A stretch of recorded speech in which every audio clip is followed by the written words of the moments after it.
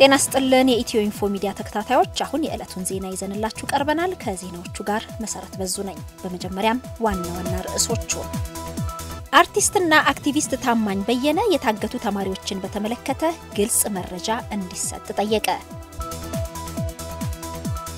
የኢትዮጵያ ሱዳንና ግብጽ የውጭ ጉዳይ ሚኒስትሮች በህዳሴ ግድብ ዙሪያ ከነገ ጀምሮ በዋሽንግተን ይወያያሉ ተባለ። የኢትዮጵያ ኤርትራና ሶማሊያ መሪዎች በኤርትራ እየተወያዩ ነው። በሐረሪ ክልል በሁከትና ብጥብጥ የተጠረጠሩ 87 ሰዎች በቁጥጥር ስር ዋሉ። በደቡብ ክልል ቴፒ ከተማ ከትላንት በስቲያ ሁለት ወንድማማቾች ባልታወቁ ሰዎች በአሰቃቂ ሁኔታ መገደላቸውን ቤተሰቦቻቸው ገለጹ። ከምዕራብ ወለጋና ከሌሎች ታጣቂዎች ጋር ግንኙነት አላቸው የተባሉ ተጠርጣሪዎች በሽብርተኝነት ተከሰሱ። ወደ ዝርዝር ዜናዎቹ እናልፋለን። አርቲስትና አክቲቪስት ታማኝ በየነ የታገቱ ተማሪዎችን በተመለከተ ግልጽ መረጃ እንዲሰጥ ጠየቀ። በደምቢዶሎ ዩኒቨርሲቲ ሲማሩ የነበሩ የታገቱ የአማራ ተወላጅ ተማሪዎች በፍጥነት እንዲለቀቁ፣ ስለ ድርጊቱም ግልጽ መረጃዎች እንዲሰጡ ጥያቄዎች እየቀረቡ ነው። የኪነ ጥበብ ሰዎችና ሌሎች ታዋቂ ግለሰቦችም በተማሪዎቹ ላይ የተፈጸመውን እገታ እያወገዙ ነው። ተማሪዎቹ በአስቸኳይ እንዲለቀቁና ወደ ቤተሰቦቻቸው እንዲቀላቀሉም እየጠየቁ ይገኛሉ።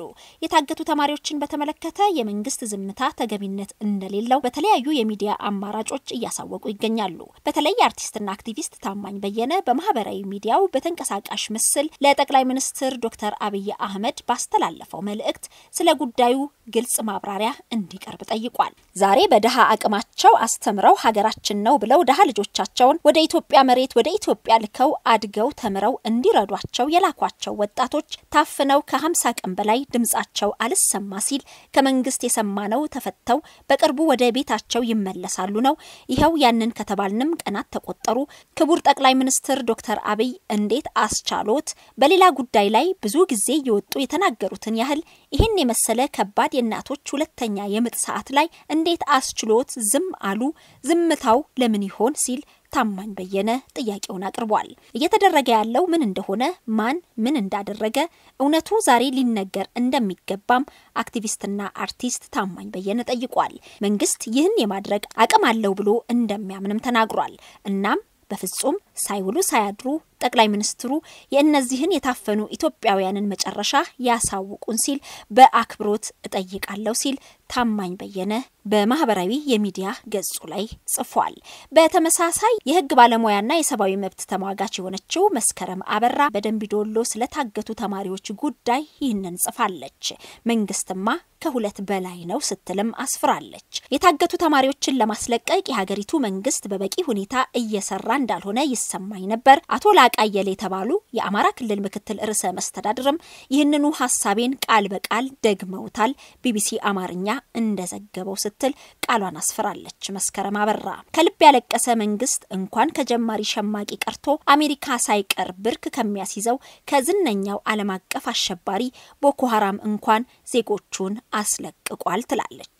ልጅ የወለደ ሰው ከሴት የተፈጠረ ሰው መንግስት ሲሆን ፖለቲከኛ ነኝ ሲል ከሰው የሚያዋስነውን ባህሪ ለምን እንደሚርቀው ሳስብ በጣም ያሳዝነኛልም ይገርመኛልም። ቢቢሲ በዘገባው የጃልመሮ ኦነግ ልጆቹን እንዳላገተ እንደተናገረ ዘግቧል።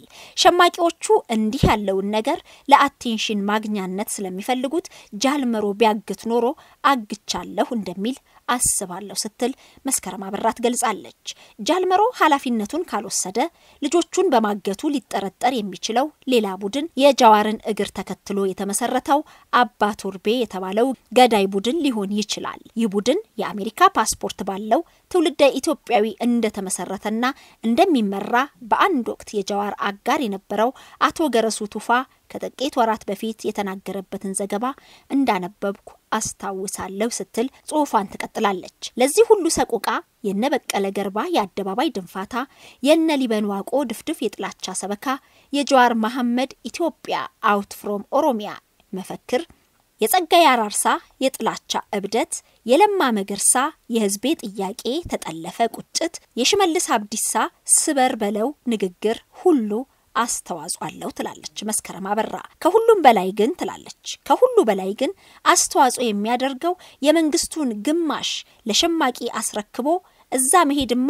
እኔንም ያስፈራኛል እያለ ኢትዮጵያን እንደሚያስተዳድር የሚሰማው የዶክተር አብይ አስተዳደር ነው። እኔ የሰፈር ሚሊሻ አይደለሁም የሚሉት አብይ ምን እየሸሹ እንደሆነ ግልጽ ነው። የሰፈር ሚሊሻ ባይሆኑም ጠንካራ የሰፈር ሚሊሻ እንዲኖር የማድረግ ግዴታ እንዳለባቸው መንገር ያስፈልግ ይሆን? ለራሱም እየፈራ እንደሆነ ሲናገር የሚያፍረው የአብይ አስተዳደር ቀስ በቀስ አንድ ሰሞን ሞቃዲሾ ኮሽ ሲል ወደ አንጋሹ መለስ ቤተ መንግስት እያለከለከ የሚሮጠውን የሶማሌ መንግስት እንዳይሆን ስጋት አለኝ ለዛውም የሚሮጥበት ከተገኘ ነው ትላለች መስከረም አበራ። ይህ አስተዳደር የሚያስተዳድረው ከጃልመሮ ከአባ ቶርቤ ከህወሀት ከጃዋርና ቄሮች የተረፈውን ሀገር ነው። ሁለት መንግስት አለ ሲባል የገረመን ለዛውም አሳንሶ የነገረንን ነው ለካ መንግስትማ ከሁለት በላይ ነው ስትል ጽሑፏን ታጠናቅቃለች መስከረም አበራ።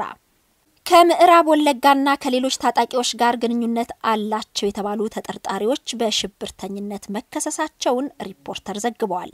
የመንግስት ኃላፊዎችንና የጸጥታ ሰራተኞችን ለማጥቃት ሲዘጋጁ ነበርም ተብሏል። ፖለቲካዊና ርዕዮተ ዓለማቸውን በኃይል በመንግስት ላይ ለመጫን በኦሮሚያ ክልል በምዕራብ ወለጋ ዞን እየተንቀሳቀሰ ከሚገኘው የሸኔ ታጣቂ መሪ ኩምሳ ድሪባ ወይንም ጃልመሮ በምዕራብ ሸዋ ዞን ከሚንቀሳቀሰው የአደሳ ነጋሳና ሌሎች ታጣቂዎችና አባ ቶርቤ ወይም ገዳይ ቡድን ጋር ቀጥተኛ ግንኙነት አላቸው ተብለው የተጠረጠሩ ስድስት ግለሰቦች ላይ የሽብር ድርጊት መፈጸም ወንጀል ክስ እንደቀረበባቸው ተሰምቷል። በፌዴራል ከፍተኛ ፍርድ ቤት ልደታ ምድብ የሽብርተኝነትና በህገ መንግስት ስርዓት ላይ የሚፈጸሙ ወንጀሎች ማስቻያ አንደኛ ችሎት የቀረቡት ተከሳሾች ያዘው ከበበው፣ ፍራኦል እንዳሉት፣ ገላና ወጋሪ፣ ፊጣ ጫላ፣ ኤፍሬም ገለታና ታደሉ ዮናስ ናቸው ተብሏል።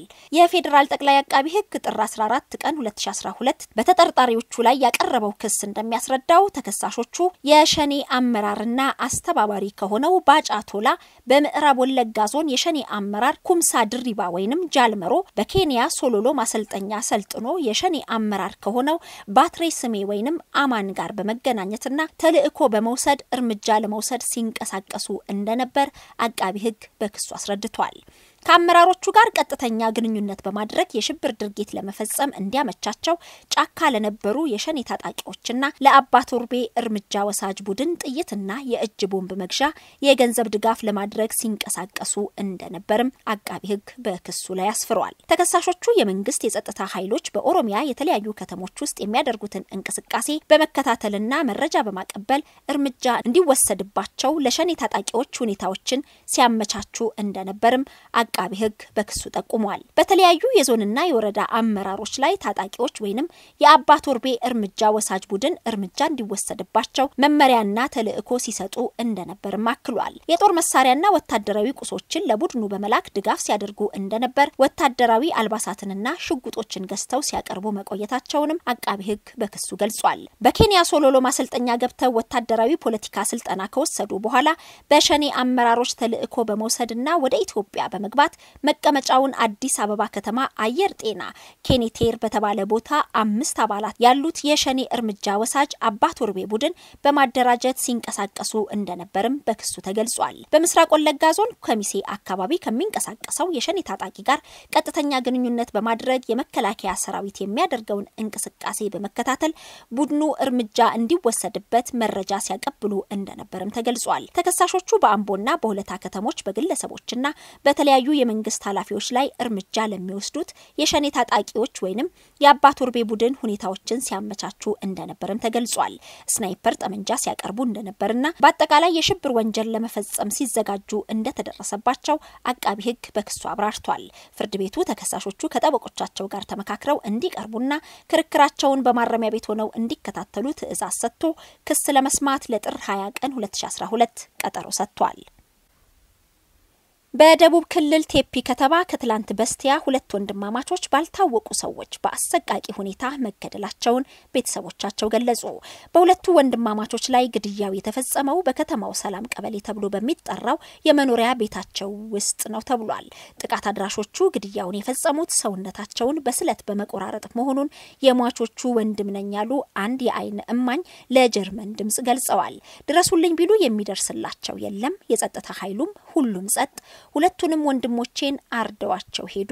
ምሽት አራት ሰዓት ላይ ማንነታቸው ያልታወቀ ሰዎች መጥተው አሰቃቂ ወንጀል ፈጽመው ሄደዋል ሲሉ ተናግረዋል። ወንጀሉ መፈጸሙን ያረጋገጡት የቴፒ ከተማ ከንቲባ አቶ ጢሞቴዎስ ሙሉጌታ የወንጀል አድራሾችን ለመያዝ ክትትል እየተደረገ መሆኑን ለጀርመን ድምጽ አስረድተዋል።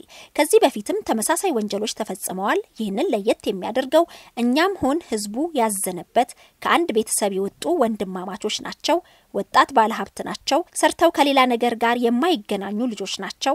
መጽናናትን እንመኛለን ሲሉ ገልጸዋል። በደቡብ ክልል ሸካ ዞን የምትገኘው የቴፒ ከተማ ካለፉት ሁለት ዓመታት ወዲህ በአካባቢው በተነሳው የአደረጃጀት ጥያቄ ጋር በተያያዘ በውጥረት ውስጥ እንደምትገኝ ይታወቃል። በአካባቢው በሚስተዋለው የጸጥታ ስጋት የተነሳም ከተማዋን ከሚዛን ከጅማና ከማሻ ከተሞች የሚያገናኘው መደበኛ የትራንስፖርት አገልግሎት ከተቋረጠ ወራቶች ማስቆጠሩን ከስፍራው የሚወጡ መረጃዎች ይጠቁማሉ። በሐረሪ ክልል በሁከትና ብጥብጥ የተጠረጠሩ 87 ሰዎች በቁጥጥር ስር መዋላቸው ተሰማ።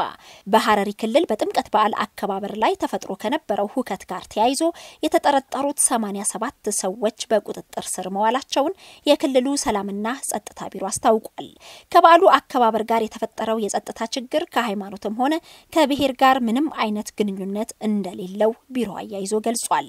የቢሮ ኃላፊ አቶ ናስር ያዩ በሰጡት መግለጫ ባሳለፍነው ሳምንት ከጥምቀት በዓል አከባበር ጋር ተያይዞ ተፈጥሮ በነበረው የጸጥታ ችግር በሰውና በንብረት ላይ ጉዳት ደርሷል። ድብቅ የፖለቲካ ዓላማ ያላቸው አካላት በፈጠሩት የጸጥታ ችግር ምክንያት የአንድ ሰው ሕይወት ማለፉንና ሰባት ሰዎች መቁሰላቸውን ጠቁመዋል። በተጨማሪም የ11 ህንፃዎች መስታወት የተሰባበረ ሲሆን አንድ የኮካኮላ ማከፋፈያና አንድ ተጨማሪ ህንፃ መቃጠላቸውም ተገልጿል። ሁለት መኪኖችና አራት ባጃጆች ጭምር በሁከቱ መቃጠላቸውን ኃላፊው ተናግረዋል። በተፈጠረው የጸጥታ ችግር ምክንያት ጥቂት ነዋሪዎች በስጋት ቀያቸውን ለቀው ሄደው የነበረ ቢሆንም በአፋጣኝ እንዲመለሱ ተደርጓል ተብሏል።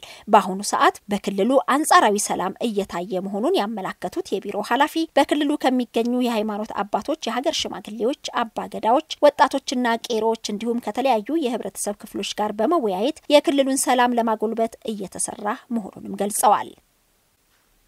የኢትዮጵያ ሱዳንና ግብጽ የውጭ ጉዳይ ሚኒስትሮች በህዳሴ ግድብ ዙሪያ ከነገ ጀምሮ በዋሽንግተን ይወያያሉ። በውይይቱ ላይ ለመካፈል የኢፌዴሪ የውጭ ጉዳይ ሚኒስትር አቶ ገዱ አንዳርጋቸውን ጨምሮ የግብጽና የሱዳን የውጭ ጉዳይ ሚኒስትሮች፣ የውሃ ሚኒስትሮች፣ የውሃ ዘርፍና የህግ ባለሙያዎች ዋሽንግተን ዲሲ ገብተዋል። ነገና ከነገ በስቲያ በሚካሄደው ስብሰባ ላይ በህዳሴ ግድብ የውሃ አሞላልና አለቃቀቅ የስምምነት ረቂቅ ላይ ውይይት እንደሚደረግ የውሃ መስኖና ኢነርጂ ሚኒስትር ዶክተር ኢንጂነር ስለሺ በቀለ በትዊተር ገጻቸው ላይ አስፍረዋል። የኢትዮጵያ ኤርትራና ሶማሊያ መሪዎች በአስመራ እየተወያዩ ነው። ጠቅላይ ሚኒስትር አብይ አህመድ ከፕሬዝደንት ኢሳያስ አፈወርቂና ከፕሬዝደንት ሞሐመድ አብዱላሂ መሐመድ ጋር ስለ የሀገሮቻቸው አበይት ጉዳዮችና የአፍሪካ ቀንድ ክንውኖች ላይ እየተወያዩ እንደሚገኙ ተሰምቷል። በኢትዮጵያ ኤርትራና ሶማሊያ መሪዎች መካከል በተካሄደው ውይይት በመስከረም 2011 የፈረሙት የሶስትዮሽ ስምምነትን ለማስፈጸም ያላቸውን ቁርጠኝነት ዳግመኛ አረጋግጠዋል ተብሏል። የስምምነቱን አፈጻጸም ከመገምገም ባለፈ ለ 2012 እና ቀጣይ ዓመታት የጋራ የሽብር ስጋቶችን ለመቀልበስ የህገ ወጥ የሰዎች መሳሪያ እንዲሁም የአደንዛዥ እጽ ዝውውርን ለመግታት የሚሆን የትግበራ እቅድ አውጥተዋል። በተጨማሪም ሶስቱ መሪዎች ሀገራቶቻቸው ያላቸውን የሰውና የተፈጥሮ ሀብቶች በጥቅም ላይ በመዋል የጋራ ማህበራዊና ኢኮኖሚያዊ የልማት ስራዎችን ለማከናወን ተስማምተዋል። ኢትዮ ኢንፎ ሚዲያ የተለያዩ ማህበራዊ፣ ፖለቲካዊና ወቅታዊ ጉዳዮችን እያዘጋጀ ወደ እናንተ ያደርሳል። subscribe፣ comment፣ share በማድረግ ቤተሰብ ይሁኑ እናመሰግናለን።